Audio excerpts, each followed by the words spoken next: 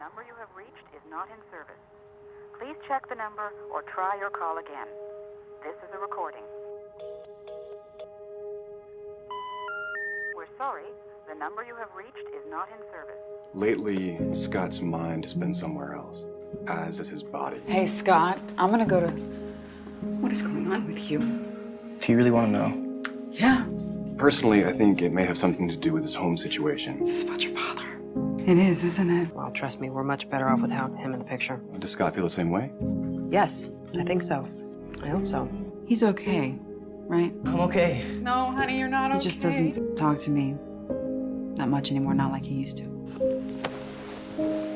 You alive in there? What's she doing? Crying. Scott. Scott, are you okay?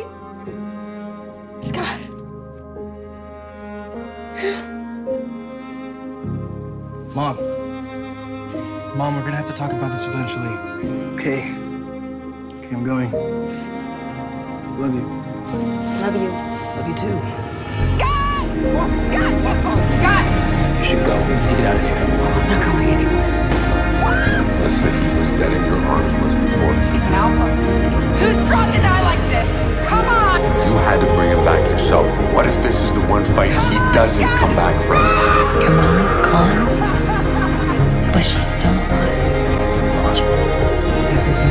Suffers loss.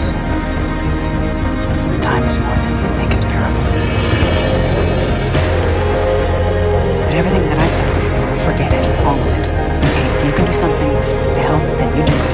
You have to. Because not only do you have the power to do something, you care enough to do it. I have never told Scott to run and hide, and I am not going to start now. Don't run. You fight.